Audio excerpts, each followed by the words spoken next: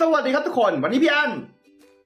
จะมารีวิวกับตัวนี้ครับ กับ7 Up Lemon Soda Zero Sugar นะครับ ตัวนี้เป็นสูตรไม่มีน้ำตาลนะจ๊ะ ก็ใส่ดีซื้อมาเพราะว่าตรงนี้เลยนะครับ กับเขียนคำว่าผสมน้ำเลมอนแท้นะครับ เดี๋ยวจะชิมกันนะครับว่าผสมน้ำเลมอนแท้เป็นยังไงกันบ้างซึ่งส่วนที่เราได้นะครับ เราได้นะครับเป็น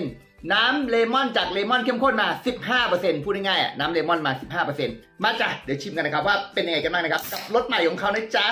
แกะมาตึ๊กเออโอเคนะเฮ้ยกลิ่นก็ใช้ได้นะครับ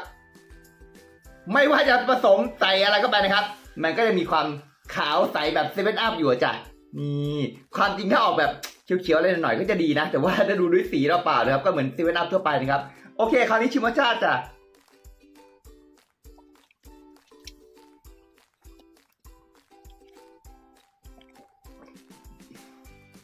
อะชิมแล้ว รีวิวรสชาติแล้วนะครับเขาบอกกันว่า เออพูดตรงนะไม่ได้โจมตีนะครับ บอกเลยว่าเข้มกว่าเซเว่นอัพธรรมดานิดนึงนะครับ คือว่าถ้าเกิดสมมติเซเว่นอัพธรรมดาเข้มสิบใช่ไหมไอ้นี่ก็เข้มประมาณสิบสองสิบสามนะครับในรสชาติที่เข้มขึ้นนะครับ อาจจะเพราะว่าเขาใส่น้ำเลมอนแท้มาไงแต่ว่าคาดหวังเยอะกว่านี้นะนึกว่าจะมีรสชาติอะไรแปลกๆนะครับ ไม่ใช่นะครับ มันคือเซเว่นอัพนะครับ ที่มีรสชาติแบบ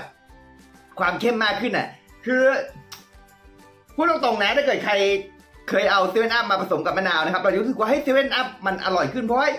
มันจะได้ความเข้มมากขึ้นนะครับ อันนี้ก็คือเข้ามาผสมให้เราอะไรครับ ก็